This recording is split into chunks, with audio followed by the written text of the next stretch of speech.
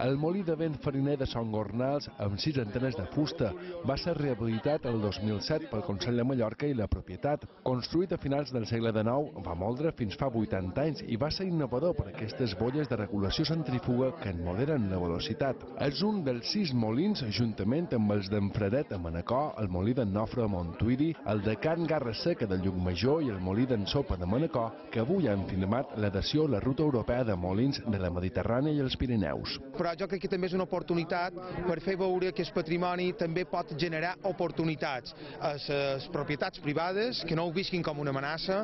Al, al setembre de 2015 vam demanar un altre projecte molt més gran de 625.000 euros en total, que és per augmentar molt més eh, tota aquesta ruta. Una seixantena de persones han conegut de primera mà la feina feta en aquest projecte que finança Europa amb 5.400 euros i el Consell amb 3.600. No s'assembla de res en el que hi havia.